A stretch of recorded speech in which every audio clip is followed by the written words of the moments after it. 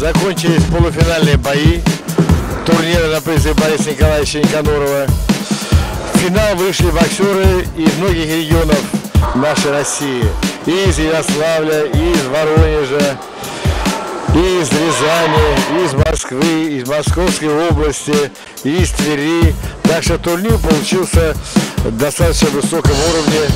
Боксеры были из разных городов, как вы видите, и показывали хороший бокс.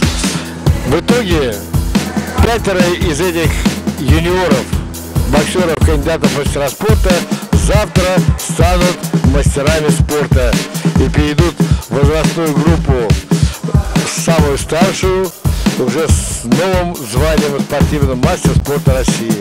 Ну и мы желаем, чтобы завтра финальные бои также проходили на высоком техническом, тактическом уровне. Но ну, а мы, судьи, постараемся правильно определить победителя, если мы все уехали без обид на наш турнир и приехали участвовать в 16 турнире в будущем году. Сегодня еще состоялся очень интересный бой, финальный бой весовой категории 91 килограмм, где встречался боксер из Воронежа Александр Бессонов с москвичом Александром Чуевым, воспитанником спортивного клуба «Молния». И бой пошел, пошел очень интересно. Так интересно, что даже Александр Лебзяк, который хотел уехать по делам, задержался и смотрел до конца.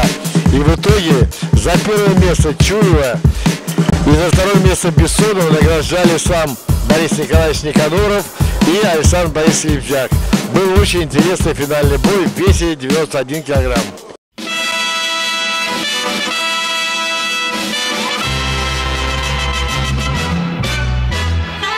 Будет небесам жарко, Сложат о героях песни.